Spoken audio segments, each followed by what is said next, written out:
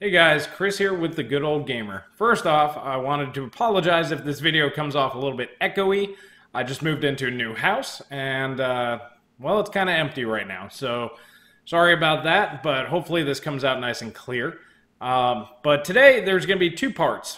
Uh, I'm going to be making two videos. The first part, I'm going to be going over basically the last 10 or so years of GPU history and how that has kind of shaped to where I am now.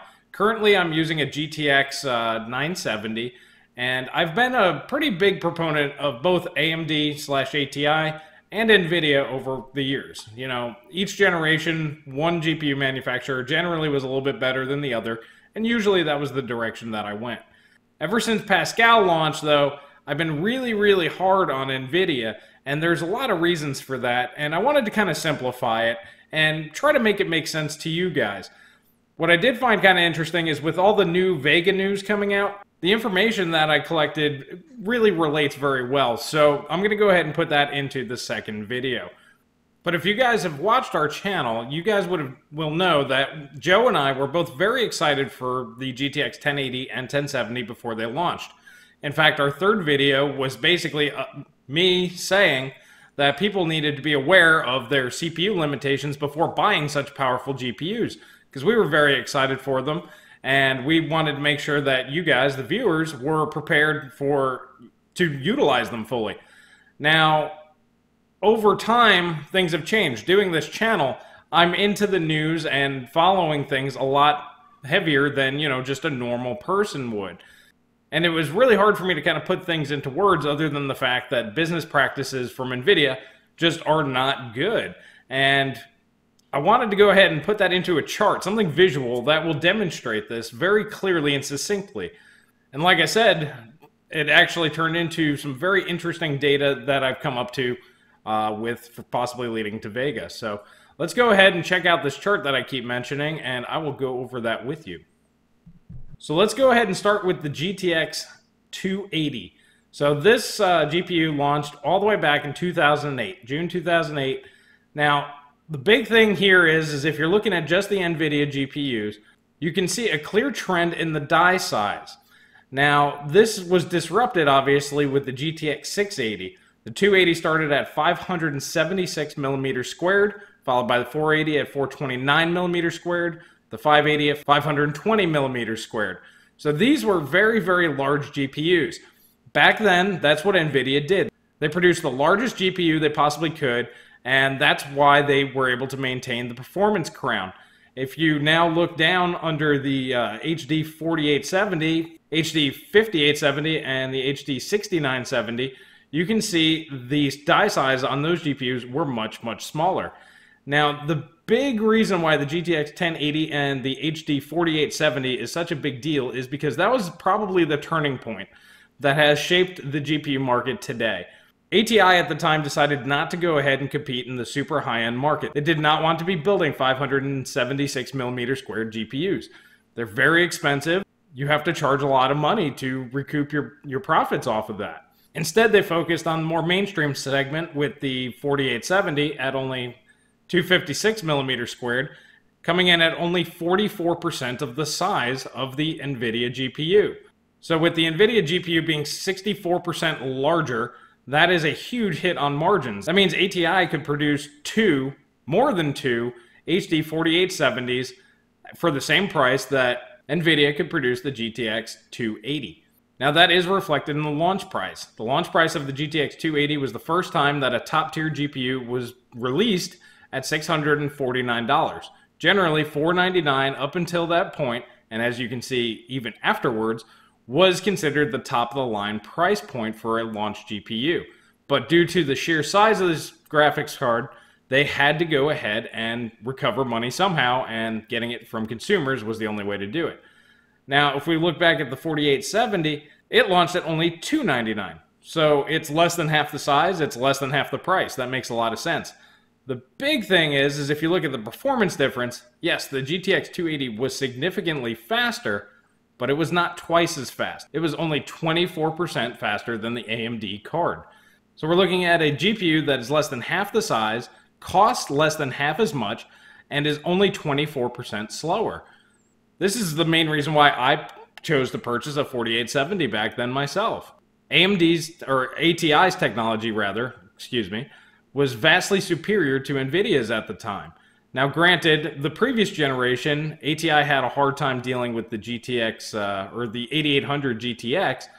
Now, that was kind of a troubling time for them, and that is the reason why they wanted to step out of the high end market. They wanted to just focus on the mainstream. However, they hit a home run with their architecture that NVIDIA could not match. Now, if we move over to the 480, we're still looking at a huge GPU at 529 millimeters squared. You know, we're still, uh, we're actually up to 250 watt TDP, which for NVIDIA, that is the maximum uh, that they have released a GPU at, at least a gaming level GPU. But now compared to the HD uh, 5870, first off, the GTX 480 launched approximately six months later. Uh, so ATI was ahead of them. And even still, they had to produce such a large chip ATI still got away with a 334 millimeter squared GPU, performing against NVIDIA's 529 millimeter squared GPU. Now, if we look at the performance difference, NVIDIA still had the lead. They did have the throne. Granted, this time the lead was shrunk down to only 14%, but they were still technically the performance king. We jump over to the 580. After NVIDIA got their Fermi architecture fixed, they were able to shrink down the die a little bit and bring TDP down just a smidge, still remaining at the 499 mark, and then compared to the ATI 6970, which is now growing. See, NVIDIA started going down in size, and ATI was starting to go up. The performance difference is about the same as before. Price difference is still about the same, about 20 25% lower. Now we move on to the GTX 680. This is where things change. This is where NVIDIA learned from the HD 4870 go smaller, go more efficient, and make more money. Now, at only 294 millimeters squared, we were looking at 1% slower, so this is margin of error, than ATI's, or AMD's, I believe at this point, HD 7970, and that was at 352 millimeters squared. So we're not talking about a huge difference in die size, but clearly, NVIDIA finally had the technological superiority. Now, AMD did launch their GPU first and did command a slightly higher launch price at 549, whereas the GTX 680 had to come out at 499, as clearly it was not superior to the HD 7970, but it was close enough to where they could go ahead and just cut down to 499 and be just fine. Because if you look to just the previous generation, the GTX 580, you're looking at about 40% smaller GPU commanding the exact same price, which means you're looking at 40% more profits for each one sold. This trend did not continue with the GTX 780, which they did bump up to 561 millimeters squared, which now this is the second largest GPU that they have produced next to the GTX 280. This GPU was in response to the fact that there was kind of an open market the Titan, the GTX Titan, was out, but that was $1,000. And back then, people didn't spend $1,000 on GPUs. So they went ahead and released the 780 to once and for all take the performance crown away from AMD because they did have the 7970 gigahertz edition, which is about 15% faster than the GTX 680. So there was some competition there, so they did have to go ahead and release a big GPU to retake the throne once again. Now, AMD kind of followed suit this time. They went ahead and launched a very large GPU for the very first time with the R9 290X. This GPU at 438 millimeters squared is still 78% of the size of the GTX 780, so it's still smaller, and performance-wise, it was actually faster. This is the first time AMD really had a substantial lead over an NVIDIA card. Looking at the launch price of 549 versus 649, the AMD card really just kind of wiped the floor with the GTX 780, which then led to the GTX 780 Ti being released. Now moving on to the GTX 980, this launched in uh, June of 2015.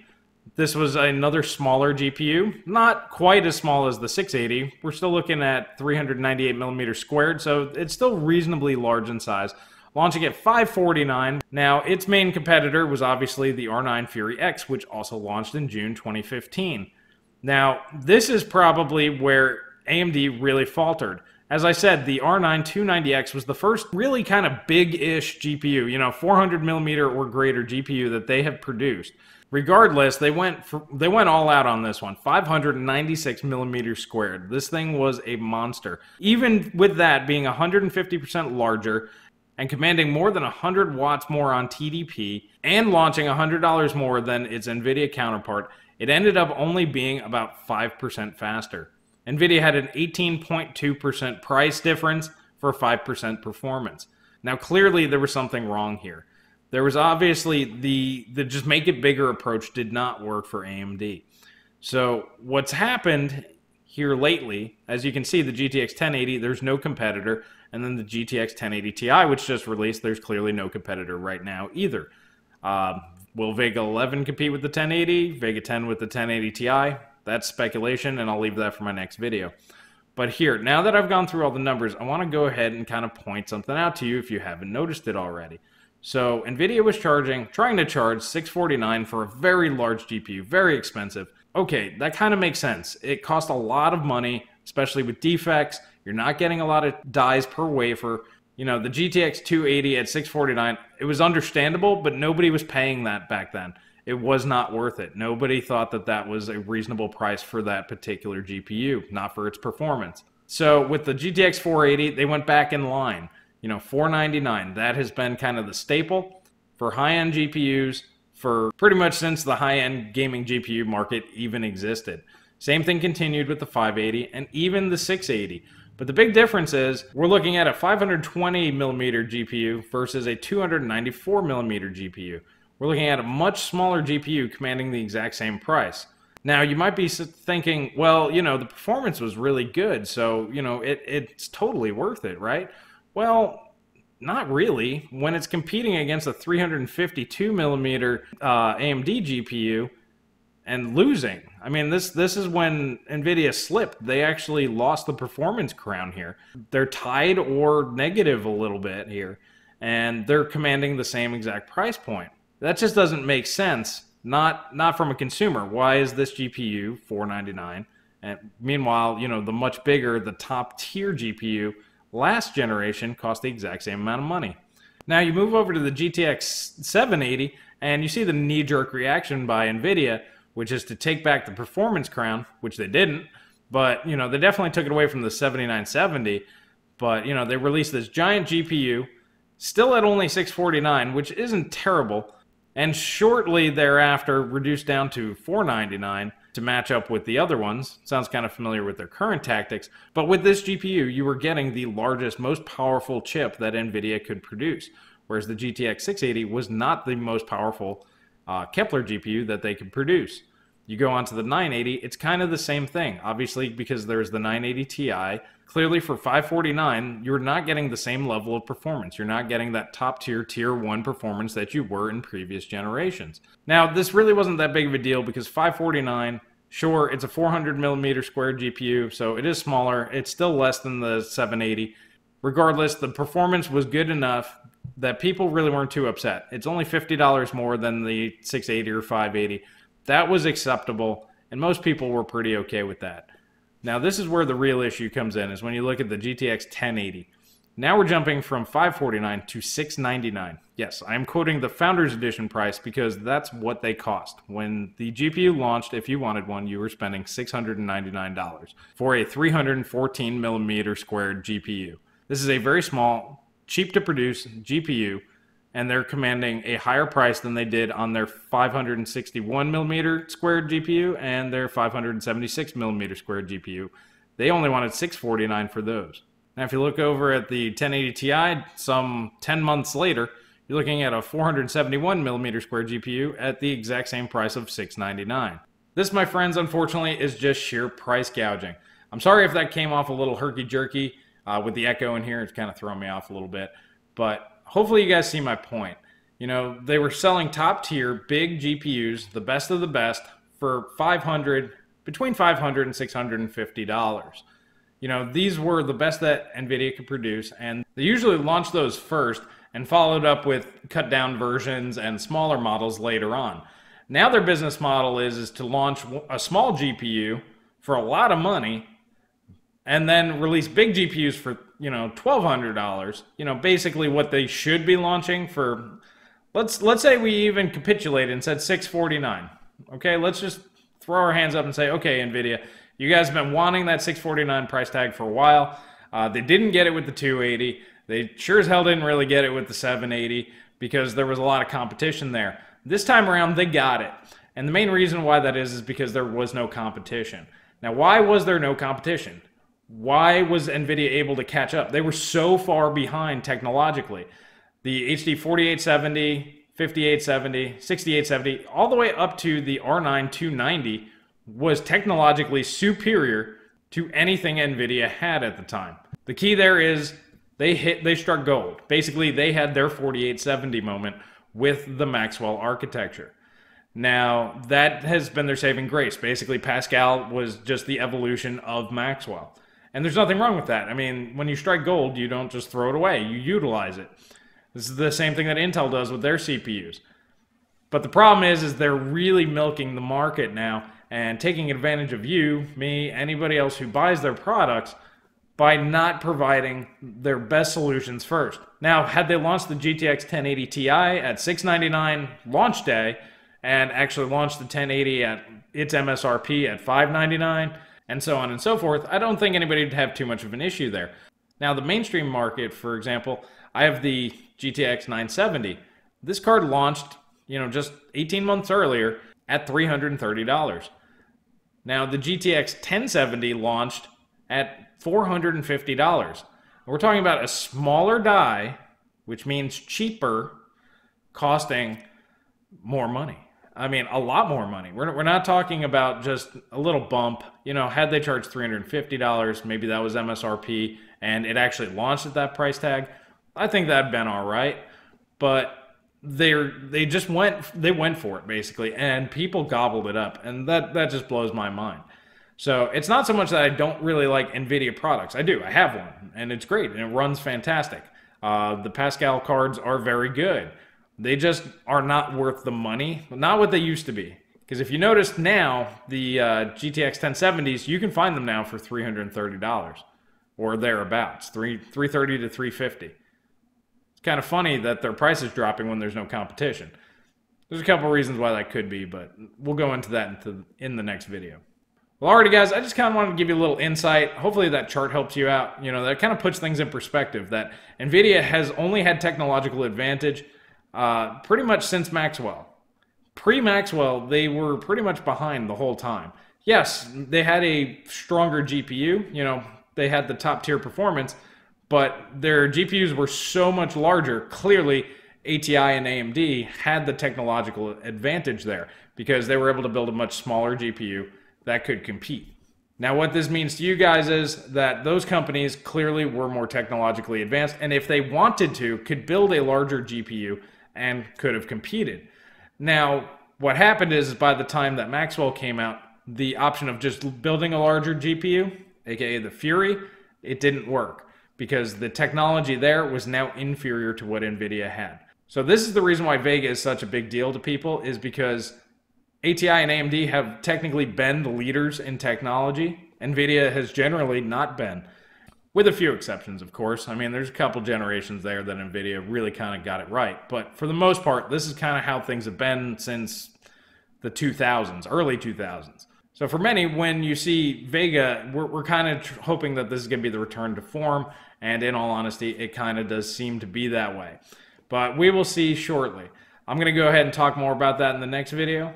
But for now, I'm going to get out of here, guys. If you like this kind of video, please hit that like button. Please subscribe. Please share with friends. Please let me know what you think in the comment section. And I will catch you in the next video.